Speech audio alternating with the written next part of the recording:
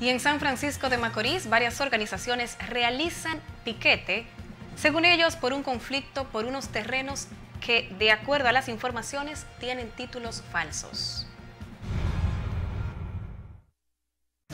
Hoy estamos aquí en los alrededores del Palacio de Justicia en virtud de que una compañía de nombre Nuevo San Francisco ha venido presionando al Ministerio Público para que ejecute un desalojo en el sector Mamatingó. Nosotros ya hemos descubierto de que los incumbentes de esa, de esa urbanización tienen una superposición de un título falso, el cual es la 7 a 7 A1 del Distrito Catastral 16 y esos moradores se encuentran en la parcela 740 del Distrito Catastral número 20.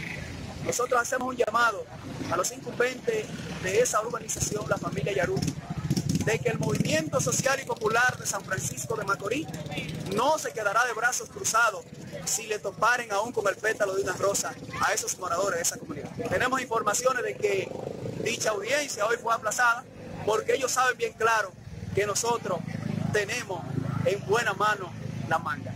¿El nombre tuyo es? Miguel Ángel Reyes del Club. Titulación,